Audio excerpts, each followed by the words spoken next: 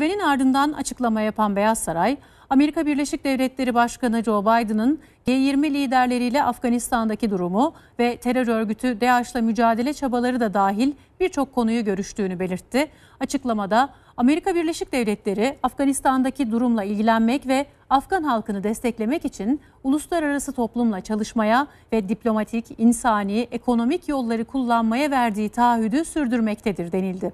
Ayrıca liderlerin bağımsız uluslararası kuruluşlar aracılığıyla Afgan halkına doğrudan insani yardım sağlama taahhüdünü teyit ettikleri kaydedildi.